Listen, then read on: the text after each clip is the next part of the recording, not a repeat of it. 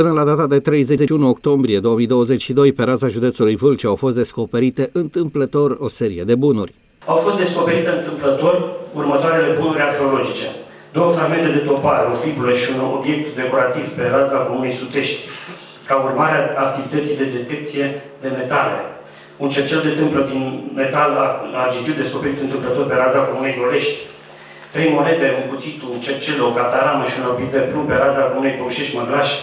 Două obiecte metalice pe raza comunei Zătreni. 25 de monede de tip prundu Jiblea la Galicia, ca urmare a activității de detecție de metale. Toate obiectele au fost predate la Muzeul Județean Vâlcea. Obiectele au fost predate la Muzeul Județean Aurelian Sacerdoțeanu Vâlcea în custodie și pentru expertizare.